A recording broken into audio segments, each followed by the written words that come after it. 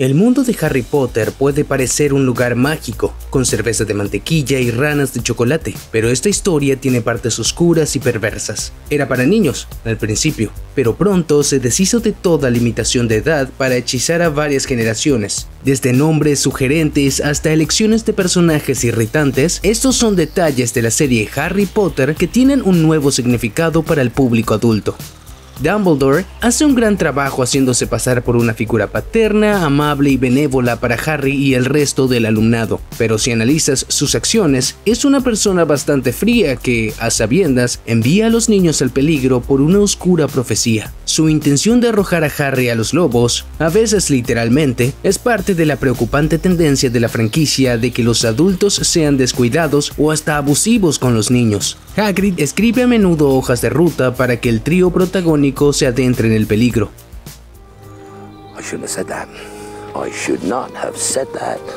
La escuela está llena de locos, e incluso los padres son horribles. ¿Cómo explicar que los padres de Hermione, que eran muggles, permitieran a su hija de 11 años atravesar una pared y subirse a un tren que ni siquiera veían? ¿O cómo nadie se molestó en ver cómo estaba el pequeño Harry Potter por 10 años luego de que lo dejaran en la puerta de unos tíos que todos sabían que eran terribles?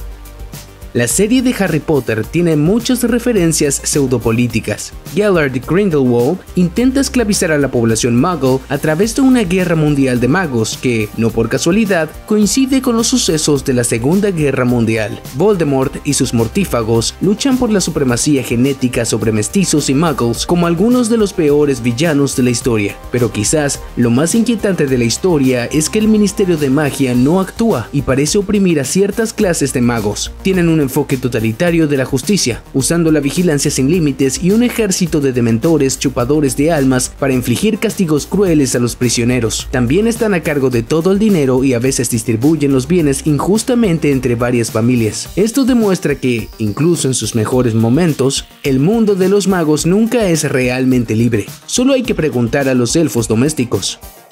Hace reír a muchos lectores, pero la forma en que J.K. Rowling escribe sobre Dudley Dursley en las primeras entregas de la serie de Harry Potter es preocupante. Aunque tiene muchos defectos para elegir al escribir sobre el primo mimado de Harry, insiste en el hecho de que es corpulento, o como ella lo describe, del tamaño de una orca joven. Las descripciones de los ojitos de cerdo de Dudley y su parecido con un cerdo con peluca son crueles e innecesarias en retrospectiva, incluso si Rowling insiste en que está en contra de burlarse de la obesidad. Puede que los libros de Harry Potter estén pensados para niños, pero ciertas partes pertenecen a la sección para adultos. Por ejemplo, está el hechizo Engorgio, que parece una mala elección de nombre por parte de Rowling, y que probablemente sea la única explicación de cómo el padre de Hagrid tuvo relaciones con una giganta.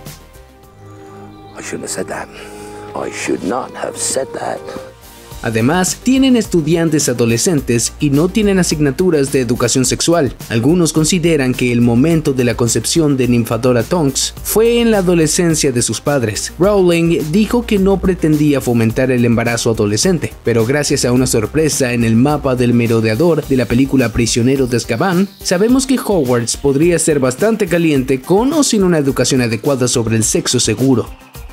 Por muy creativa y minuciosa que fuera Rowling al crear el Potterverso, hay algunos aspectos de las historias que son frustrantes en retrospectiva. Snape tiene el don de la legilimencia, por ejemplo, pero no lo usa para descubrir que Barty Crouch Jr. está bebiendo poción de polio para disfrazarse de Ojo Loco Moody en el Cáliz de Fuego. Eso podría haber sido muy importante.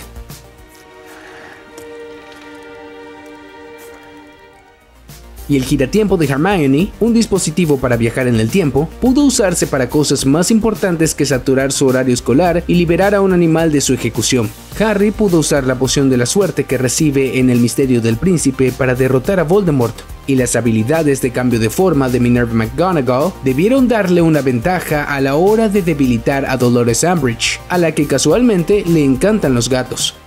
And the consequences may be severe. En cambio, estos elementos van y vienen como momentos triviales de conveniencia, a pesar de que hay una guerra en marcha. Y no olvidemos cómo Dumbledore regala a Harry una de las tres reliquias de la muerte, la capa de invisibilidad, mucho antes de que pueda llegar a apreciar su verdadero valor. ¡Wow! Los fans de Harry Potter podrían sentir lástima por Myrtle, ya que obviamente es una persona sensible que no merecía morir por el ojo del basilisco a una edad tan temprana. Pero eso no justifica sus perversiones póstumas. En El Cáliz de Fuego tienen la costumbre de espiar a los chicos en los baños sin su permiso. Hello, Harry. Ah, long time no. Oh.